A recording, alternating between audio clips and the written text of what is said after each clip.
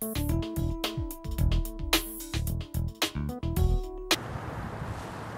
I want to talk to you about overcoming adversity. I uh, listened to a, a, recent quote that I heard. It was uh, believed to be from Benjamin Franklin. Talked about rather you own the adversity than it own you. You own the adversity rather than to own you. This quote by Benjamin Franklin is so key. Um, know, let's say uh, a prime example is is be prepared before something even occurs. You have all your ducks lined up in a row. And uh, it's so key uh, to some business success. It's like seeds. I mean, the farmer, the farmer doesn't go out and you know use all of his seeds to, to plant in that one year. He has extra seeds.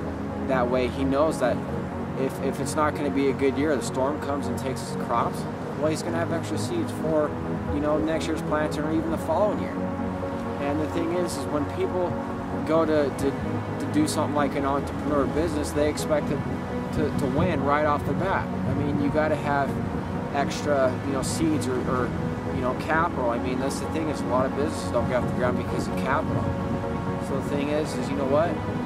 Go in there and say, you know what? It's going to take some effort. Ask other people what they've been through, then go out there and then, you know, if, if they if it took $5,000 to get a business off the ground or $200,000, you know what?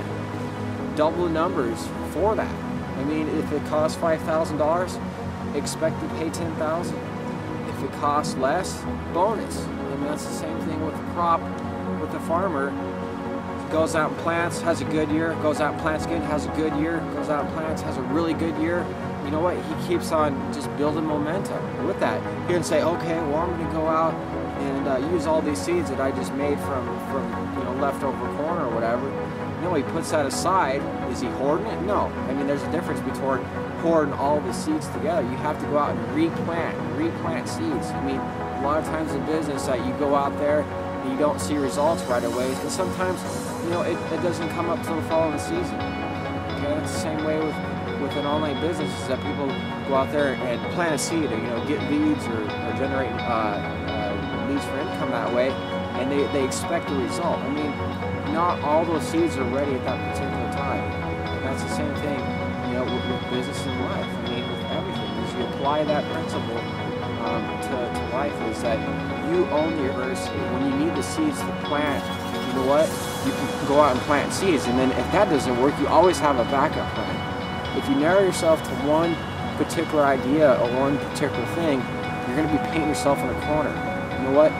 Ask yourself, you know, is this is this the only way? And if you're asking yourself that and you're getting an answer saying, well, yeah, you know what? You need to broaden your thinking, get a bigger vision for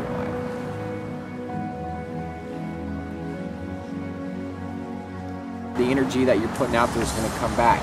And just like planting any seeds, you plant one seed, let's say corn, you plant one seed, you get an ear of corn, how many seeds do you get off of that one ear of corn? It's know, hundreds just off of that one seed.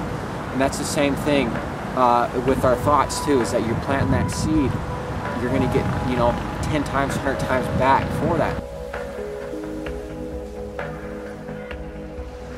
The other thing I wanted to share was with, you put you put seeds in the ground for, for and sometimes they don't grow. Why is it that sometimes the seeds don't grow? You, maybe they fall on maybe they fall on bad ground or something. Maybe the ground is, is, is sand like like here. I mean, some sometimes you know seeds don't grow in sand. Some seeds do.